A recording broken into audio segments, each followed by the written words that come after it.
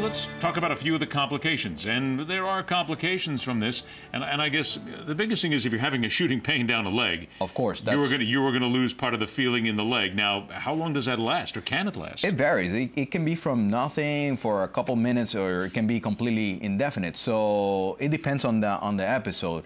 And uh, most of the time, the main thing that triggers uh, to for patients to seek an, a medical appointment will be if you're having some um, uh, the pain. However, some people might also have some numbness, some tingling, which also be associated along with uh, with the symptoms of sciatica. Our main concern is not the numbness, the tingling, or the pain. Actually, our main concern is the the last two there on the list, which is the weakness.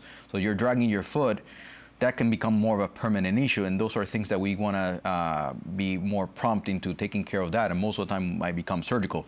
And the loss of bowel bladder will be if, the, if you have a significant disc herniation or compression of the nerve structures, that can be detrimental and that can cause you uh, losing your bowel bladder. How does that work? Because that, that's that's not something that I would consider right away. Bowel and bladder symptoms. Okay, very it's very simple. So depending on the level that you have your herniation, you might have specific distribution going on the, down the legs, but the the nerve that are that are running down to the to the bowel and bladder are called the S nerves, the sacral nerves.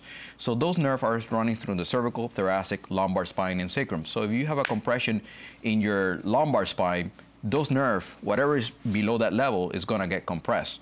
So those are the last nerves that they get compressed. So if that's if if you have any bowel bladder problems, you have already a significant amount of compression. So whatever nerve are affected, so I'll give you an example. If you have the an L34 disc herniation, so the L4, the L5, the S1, the S2, the S3, S4, S5 will get affected.